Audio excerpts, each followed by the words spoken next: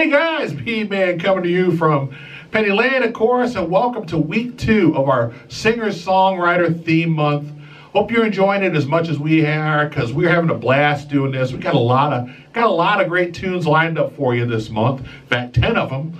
Uh, I hope you all checked. If you're here, I know you checked. I know you checked out Plots on Wednesday. What a what a great song! And I'll tell you what, man that Plots. He's such an excellent singer, and you know what? He's an even, if you can believe it, he's an even better guitarist.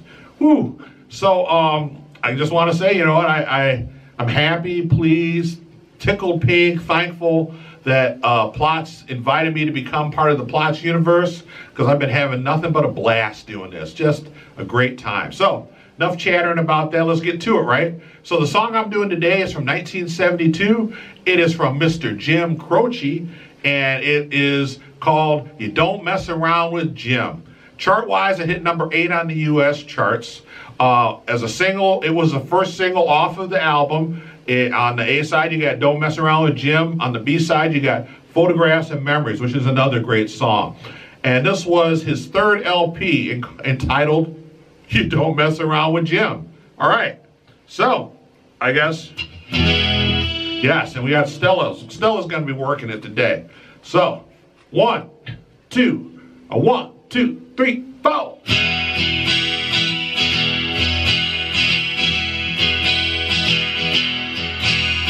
Uptown got its hustlers, Bowery got its bums. 42nd Street got Big Jim Walker, he's a fool, son of a gun. Yeah, he's big and tough as a man can come, but he's stronger than a country horse.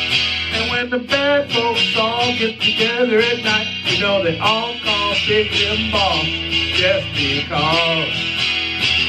And they say you don't tug on Superman's cape, you don't spit into the wind, you don't pull the mask off the old Lone Ranger, and you don't mess around with Jim. Ba, ba, ba, ba, ba, ba, ba, ba.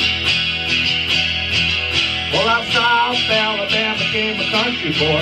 He said, I'm looking for a man named Jim. I am pool shooting boy. My name is Willie McCoy, but back home they call me Slim. Yeah, I'm looking for the king of 42nd Street, driving a drop top Cadillac.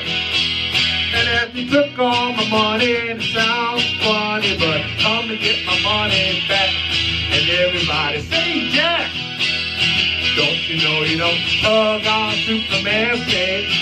You don't spit into the wind. You don't pull the mask off the old Lone Ranger, and you don't mess around with him.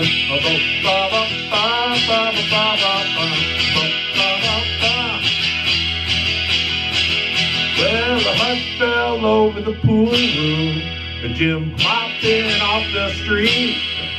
And when the cutting was done, the only part that wasn't bloody was the sole of the big man's feet. He was cut about a hundred places, and he was shot in a couple more. And you better believe the song's a different kind of story with Big Jim hit the floor. Oh, whoa, whoa, whoa. Now they say you don't tug on Superman's cape. You don't spit into the wind. You don't pull the mask off the old Lone Ranger and you don't mess around with Slim. Whoa, whoa, whoa, whoa, whoa, whoa, whoa. Whoa, whoa, whoa, whoa. Yeah, Jim. He got his big hat. He found out where it's at. It's not hustling people straight even if you got a two-piece custom-made pool cue.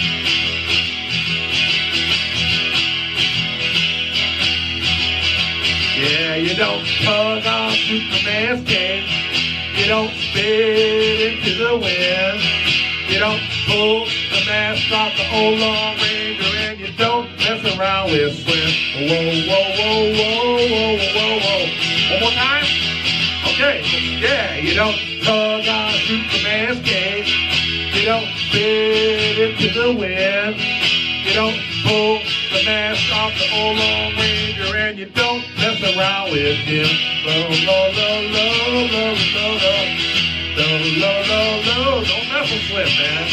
Low, low, low, low, low, low, low. No, no, no, no. Leave him alone.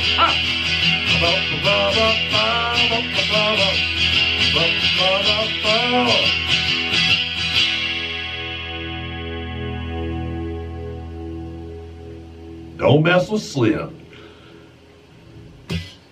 All right, Jim Croce, 1972. Don't mess around with Jim. No, now, don't mess around with Slim. God, I know, I love that song, you know. And, and it's always funny because I always tell you, I love that song, I love that song. I do love these songs, you know. Why would you, again, why would you play a song that you don't love, you know?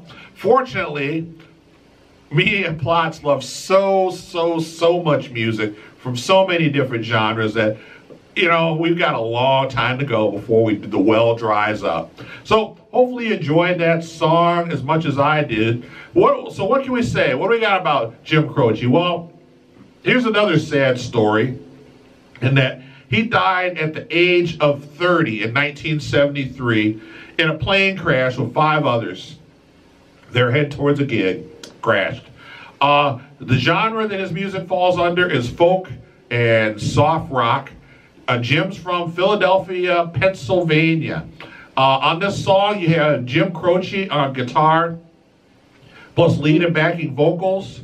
You got Maury uh, on lead guitar and backing vocals, Joe Macho on bass, and Gary Chester on drums. Now, Jim wrote most of his songs about people that he met in bars, truck stops, and in places that he worked while he was working to support his family and his music career. Interesting thing, Jim is one of those poor, unfortunate souls that got kind of kind of gypped by the, the, the music industry in that, you know, he, he went to the to um, the company and you know said, "Hey, I got this album I want to do," and they said, "Hey, yeah, sounds like you got some good material." So they gave him a. a it wasn't like you know where they give you a, a money you know in advance. They gave him an advance of hundred thousand dollars to make the record, but in their clause they stipulated that he had to pay that hundred thousand dollars back. Whereas some people they just give you the advance for the music and then blah blah blah. No, he got gypped. So he, you know, he, he put out a couple records. They did all right, as a matter of fact. But it wasn't enough. He, he wasn't making money because the money he did make, he had to start paying back to the studio. So while he's writing music and doing shows, he also had to get a job. You know, he had like a construction job, working in the bars, whatever he could get to help support him and his family while he's doing this music career. Um, so the sad part is just as after Jim, you know, passes away, this album drops, and he's got a couple huge hits off of it. Fortunately, by this point, even though he's passed away, he had paid off the record company on the money he owed, so the money started to come in, which then did end up supporting his wife and kids. So I know, kind of a kind of kind of one of those stories, but you know, you got so you got to be careful because you know a lot of people. You know you want to you want to do it so bad you end up giving pretty much giving up your soul to get that contract, and they make money and you don't a lot of times. So anyway, uh, what else? I, oh, so like I said, yeah, yeah, da, da. okay. So in his short career, so between 1966 and 1973, he released five studio albums and 12 singles. Now just now this is where I say if you haven't checked out Jim Croce, you need to make sure you do so. So these are just some of the these are some of the top 20 singles uh, that he hit. And when I'm saying these songs hit the top 20 on Billboard. There's Bad Bad Leroy Brown, great, great song. Uh, Operator, Time in a Bottle, One Less Set of Footsteps, I Got a Name, I have to say I love you in a song. Oh, God, it's a beautiful song. So I may visit some more of those songs as time goes on. So again, if you haven't done so, please take the time to check out Jim Croce.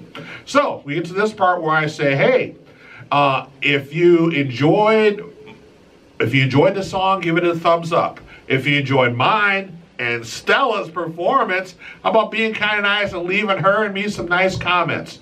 Don't forget to tune in on Wednesday to check out Plots at 1 p.m., where he drops a song for week three of our singer songwriter month. And then that Saturday, check me out at noon, where I drop my next song. So I guess until next time, peace out, live long, and prosper.